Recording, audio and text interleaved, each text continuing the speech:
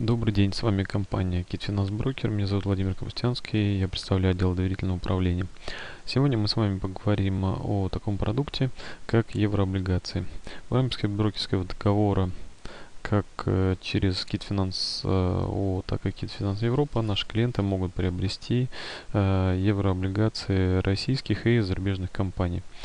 Необходимо понимать, что еврооблигация это ценная бумага, которая выпущена в валюте от отличной валюты от страны эмитента. То есть э, фактически для российских компаний и государства это бумаги, у которых валюты выступает доллар, евро, швейцарский франк и другая.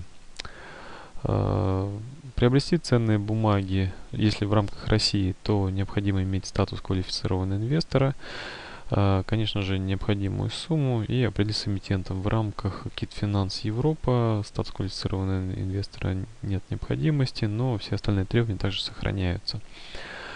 А, для начала я хотел бы обратить ваше внимание на такие понятия в облигациях, как номинал, купон, а, доходность погашению, дюрация, периодичность выплаты купона, ну и варианты возможные с э, встроенными офертами. Как вы можете видеть на экране представлена презентация, которую вы можете получить, если обратитесь э, к своим sales менеджерам либо непосредственно ко мне. Большие понятия, что такое еврооблигация. И это. Чтобы было легче общаться, мы перейдем к портфелям, которые э, предлагаются в рамках презентации, и те термины, которые я упоминал, чтобы было достаточно легко понять. У каждой из бумаг, которая выпущена обращения, а все бумаги, они привязаны к биржам, в основном это Люксембург, либо Ксетра. Э, регистратором выступает Евроклир или Кристрим.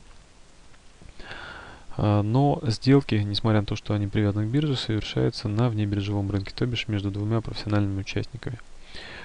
Как еще раз э, говорил, что необходимо такое понять как номинал. Все практически российские евробанды, они имеют номинал в 1000 э, долларов либо евро. В иных валютах надо смотреть, например, в швейцарских франках номинал больше. Есть такое понятие, как минимальный лот, то бишь минимальное то количество бумаг, которое необходимо купить. Э, минимальный лот бывает 100, 200 тысяч, иногда даже и более, но это в основном бумаги, которые выпущены в пользу одного приобретателя. Uh, как вы можете видеть на презентации, минимальный лот у бумаг портфеля фундамент составляет 100 тысяч долларов. Второе понятие это купон. Купон начисляется на номинал. Как я говорю, что в основном все бумаги с номиналом в 1000 долларов, поэтому, соответственно, номинал умножается на процентную ставку, которая определяется в процессе, была определена в процессе выпуска. И начисляется чаще всего бумаги в 90% случаев. Это выплаты раз в полгода. То есть из расчета по процента годовых за полгода вы получаете купон. А, у каждой бумаги есть рейтинг. Здесь в нашей таблице представлен композитный рейтинг из системы, выгружен системы Bloomberg. А, конечно же, не всегда эти рейтинги присваиваются, но в основном у высококачественных эмитентов, таких как Газпром, Роснефть, Лукойл, они имеются. Доходность погашению складывается в результате всех полученных средств от э, в виде купонов. Потом это номинальная стоимость при погашении ценной бумаги. И все это приводится к затраченным средствам и временному ряду. То есть фактически, если мы здесь можем с вами видеть, что цена, она указывается процент номинала, то бишь, например, у Роснефти э, 105,38, а купон у нее 7.88, то поскольку вы приобретаете данную бумагу выше номинала, если вы ее продержите до 2018 года, до марта месяца, то ваша доходность составит 5.75. Это без э, реинвестирования. Дюрация в данном случае 2.44, это то есть чувствительность бумаги к изменению, к э, изменению доходностей. Если так говорить по-простому, то фактически, если, например, чаще всего у них есть бенчмарк, это американские ценные бумаги, там 50-летние, и если представим себе, что э, ФРС э, повысит учетную ставку, то фактически ценные бумаги должны будут отреагировать на ту величину, на которой повысит ФРСовую ставку. Здесь дюрация не будет учитывать, конечно, геополитические риски. Это в основном вопрос к денежному рынку. В таблице также вы можете видеть дату ближайшего купона и это важное понятие. Почему? Потому что когда вы приобретаете ценную бумагу, то помимо той цены, которую вы платите, то бишь в частности, как я уже говорил, Роснефти 105.38, вы еще должны будете э, заплатить продавцу бумаги купон, который э, накопился с момента последней выплаты.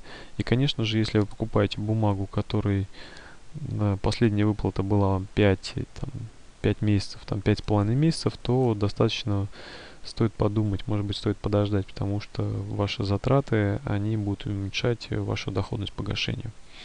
Бумаги не обязательно держать до погашения, но рекомендуемый срок от года. А, данный портфель фундамент, если к нему мы вернемся, как вы можете видеть, он сформирован из бумаг, которые являются системообразующими.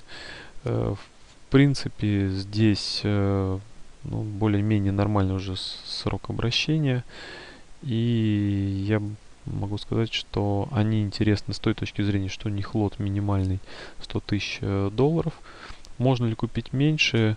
Вариант, если у вас меньшая сумма, допустим, 50 тысяч долларов, э, возможно, но тогда вы фактически должны будете присоединиться к э, другому покупателю и также само Э, фактически вы должны будете держать эту бумагу до погашения, поскольку если еще найти одновременно покупателя, э, с кем можно будет эту бумагу купить, э, так как, допустим, лот может быть минимальный 100 тысяч, но вы, если, допустим, продавец согласится продать за 125, либо 150 тысяч, 150 штук, то мы сможем вам приобрести. То при продаже не так это просто сделать. Хотя, конечно, есть тоже варианты, и не будем забывать, что московская биржа еще в том году запустила, а, я помню, что более 20 выпусков в обращении, но они пока это не ликвидные. И надеемся, что все-таки будет развивать данную услугу, и бумаги будут не только на внебиржевом рынке обращаться, но и на биржевом. Как я говорил, что есть такие понятия, как встроенные опционы. И следующий э, портфель, который я вам представляю, называется финансовый сектор. Он состоит из бумаг, которые выпустили банки, входящие в топ-50. А можно сказать, что даже и в топ-10, например, ВТБ, Газпромбанк, Альфа-банк. А, особенность данных бумаг следующая. Во-первых, это все субборды, так как есть просто банды, а есть субборды, это немножко ниже качеством бумаги. И за то, что если подойти к вопросу, представим себе, что вдруг наступает какой-то случай, связанный с ковенантами, условия, когда идет нарушение прописанное в меморандуме, то, ну, либо совсем уж плохая ситуация, эмитент банкротится, то ваши э, права, они будут удовлетворены после прав держателя бумаг простых бандов. Э, но за вот это право, поскольку вы имеете меньшие преимущества при негативном сценарии, эмитент выплачивает называемую премию, более высокую ставку по сравнению с иными аналогичными э, вариантами выпуска, я имею в виду по сроку, нежели это было бы обычно. А, как мы можем здесь видеть с вами, э, это перпетуалы бумаги, в которых встроенный опцион есть, опцион call, то бишь это право эмитента на то, что он имеет право выкупить в определенную дату по номиналу но это не является обязанностью. Хотя здесь как раз, э, если в основном ставка определяется, она не, э, остается постоянной до э, срока обращения конечного срока, то здесь, допустим, по ВТБ Перпетуал, одна из самых обращаемых бумаг данного класса в России, после 6 декабря 2022 года ставка привязывается к доходности USA Treasuries. И там она составляет ставка доходности плюс э, 8,5%, что достаточно немало, хотя, конечно же, срок еще большой. Бумаги, по сути своей, если рассматривать ВТБ, Газпром, ну, можно сказать даже и Альфа, банк, являются э, такими привилегированными бумагами, привилегированными акциями, потом просто строго прописан купон в валюте. Особенность, почему есть такие бумаги именно перпетуалы, э, было изменение международного законодательства по достаточности капитала, так называемый Basel 3, и чтобы повысить капитал уровня выше 10 э, процентов. Э, банкам разрешили выпускать э, банды, которые будут зачитываться, и тем самым фактически, что есть у ВТБ, Газпромбанк, Сбер, кто котируется, были данные бумаги выпущены и достаточно неплохо котируются. Конечно же, здесь такая особенность, подчеркну, это э, минимальный лот в 200 тысяч. Дюрация, как вы можете видеть, достаточно большая. К ближайшей дате она рассчитывается. И, конечно же, у этих бумаг нет э, рейтинга.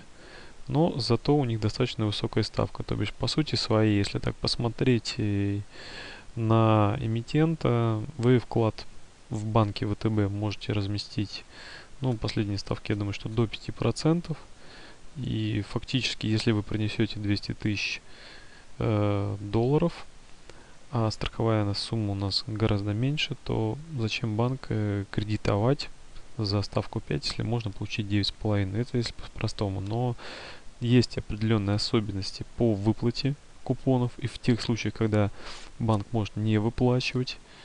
Об этом я сегодня говорить не буду, но готов ответить, либо отдельная презентация у нас даже была, э, либо советую обратиться просто непосредственно на сайт ВТБ, у них есть хороший такой проспект достаточно понятно, где прописано именно об этих бумагах. Практически то же самое по Газпрому.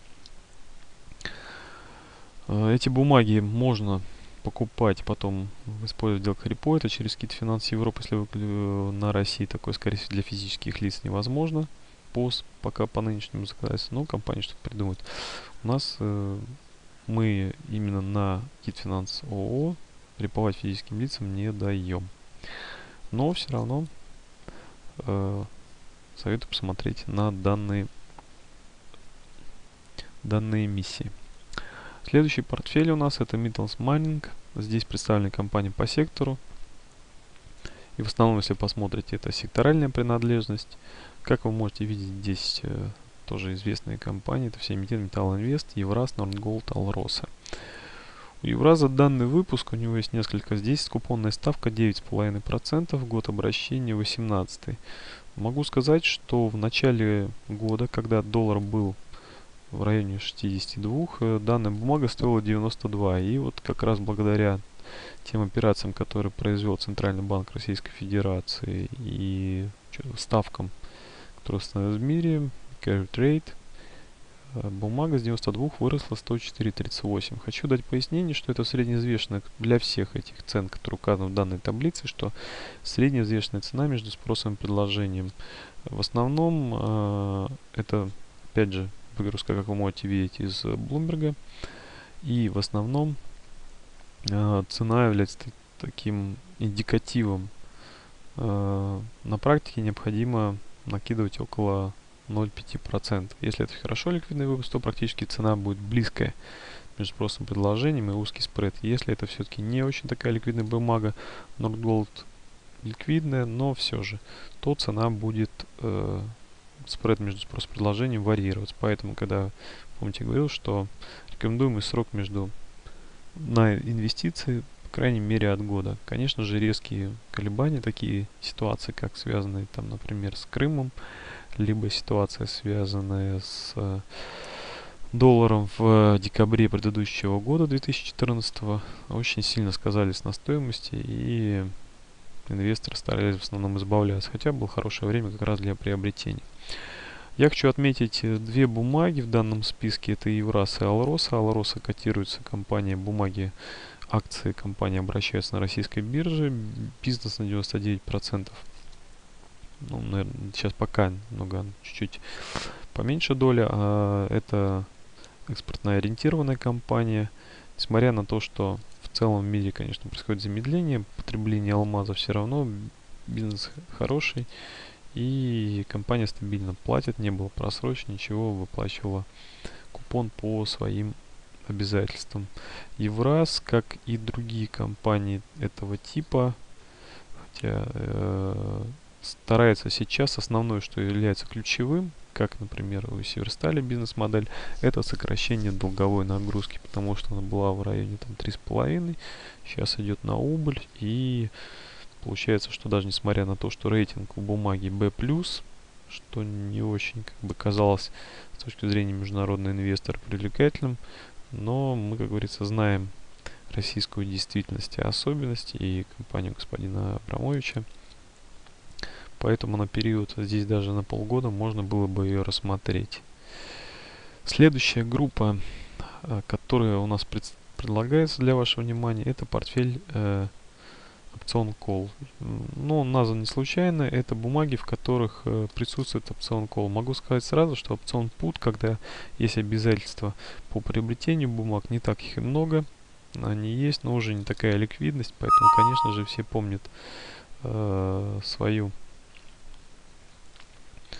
все помнят те доходы, которые были в декабре-ноябре сейчас. И если учитывать еще бывают риски, сумму, то хотят доходность выше балансового вклада. Поэтому рассматриваем тех же самые банки, но под другим взглядом. И здесь я бы ответ, отметил такой банк, как э, Сбербанк. Сейчас его цена достаточно низкая и там даже доходность, если посмотреть, здесь она приводится с точки зрения погашения, а если с точки зрения оферты, которая встроена, то она приближается даже к 10. И Россельхозбанк, как-никак, все-таки государственная структура. Можно ожидать э, поддержки 100% капиталом банк и может быть даже новый руководитель Министерства хозяйства тоже будет лоббировать интересы и в конце концов банк будет показывать реальную эффективность, а не номинальную, можно сказать нулевую. С другой стороны, я бы подходил к выбору бумаги такого качества с точки зрения купона.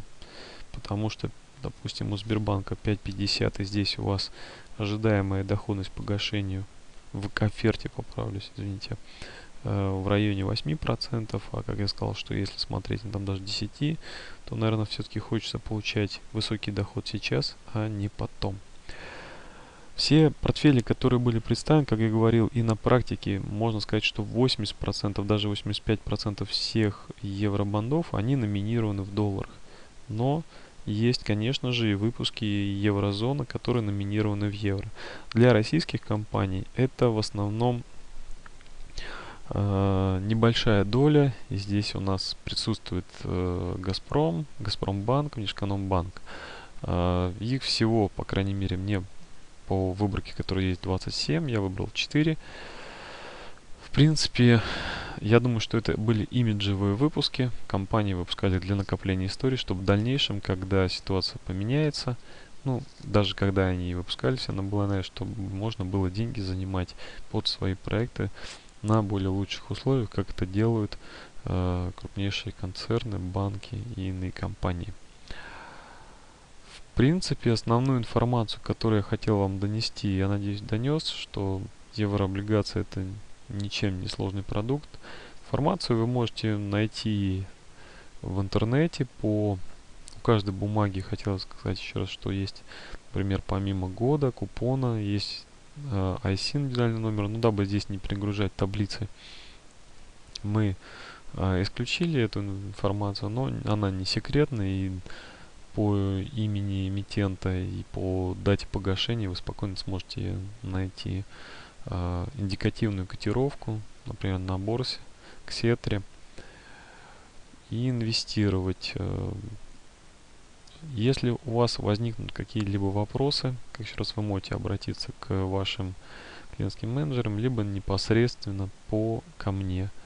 А, контакты свои я сейчас вам покажу по электронной почте, либо по телефону. Я с удовольствием отвечу на ваши вопросы. На этом все. Спасибо вам. А, удачных инвестиций. До свидания.